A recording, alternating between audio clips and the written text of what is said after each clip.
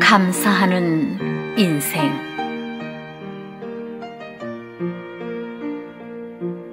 어떤 사람이 아직 동이 채 뜨기 전 강가로 산책을 나갔습니다.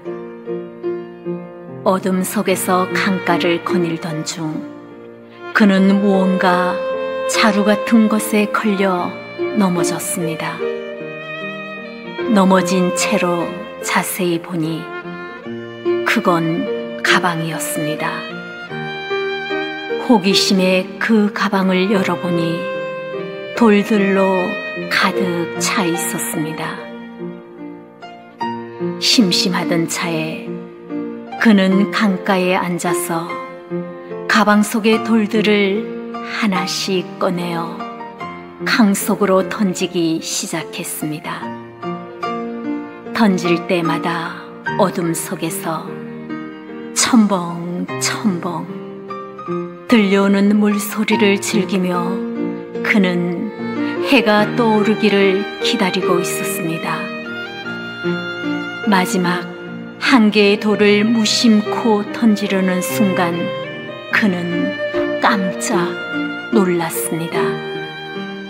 손에 들고 있는 돌멩이가 떠오르는 태양빛에 반짝이고 있는 것이었습니다. 너무나 놀란 그는 돌을 들여다보고서 가슴을 치며 통곡하기 시작했습니다.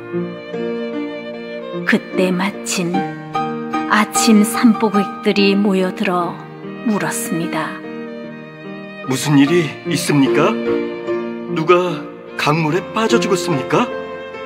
그가 통곡을 하다 말고 대답을 합니다. 여보시오, 이게 뭔지 아시오? 다이아몬드요. 조금 전만 해도 이 가방 속에 수백 개의 다이아몬드가 들어 있었는데 나는 그게 다이아몬드인 줄 모르고 한 시간이 넘도록 강물 속에 다 던져버렸단 말이오. 그래서 이젠 한 개밖에 남지 않았소. 그는 계속 통곡하더랍니다. 이런 모습이 혹 오늘 우리의 모습이 아닐런지요.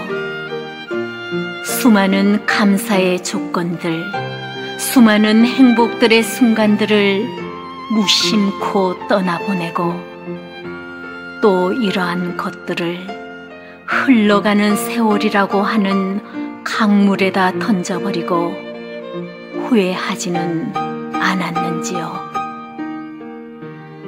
나의 가족들이 건강해서 감사할 수 있어 좋고 내가 만나는 주변 모든 사람들을 사랑할 수 있어서 좋고 내가 대접받기보다 내가 먼저 섬길 수 있어서 좋은 그런 하루하루를 만들어 보십시오.